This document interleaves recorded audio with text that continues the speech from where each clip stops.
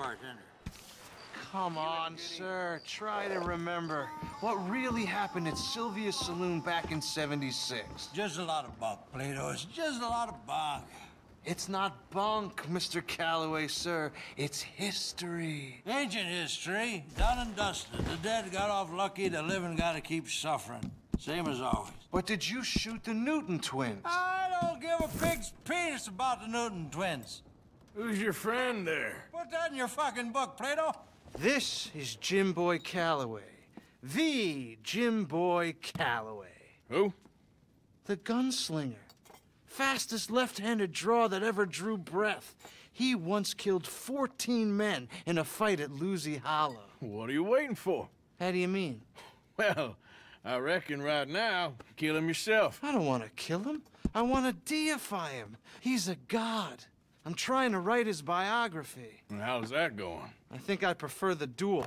Either I'd kill him and be able to be Baltimore's finest ever gunslinger, or he'd kill me and I could be set free from ever having to speak to him again. Well, you're starting to understand something very important. What's that? The joys of gunslinging.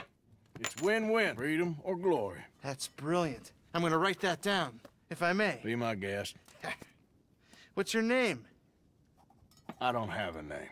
But you are a gunslinger. Not really. I mean, folks who need shooting, I try and shoot in the back. All that other stuff, it's, well, bunk. But you fought duels. Once upon a time, I may have. And you ain't interested in fame. Ah, I don't think so. Strange. But you like fortune. I need money, sure. Okay. Then forgive me, mister, if I seem a little desperate. I am a little desperate. This book, I've got to make a thing of it, and, well, there's a whole list of gunfighters. Legends, every last one. Emmett Granger, Flaco Hernandez, Billy Midnight, Black Belle. Never heard of him. Maybe you can go and speak to them. Ask them about Calloway. Any of them get uppity, shoot them.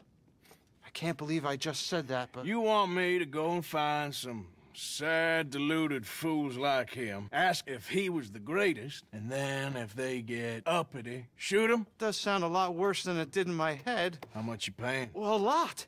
Half the proceeds of the book, if you help me get it written. I'll see what I can do. Ha! Oh, get photos. Okay, And there are notes on the back of those portraits that should lead you to him. I'll see what I can find out. I imagine we'll be stuck here upon your return. Here are some other flophouse.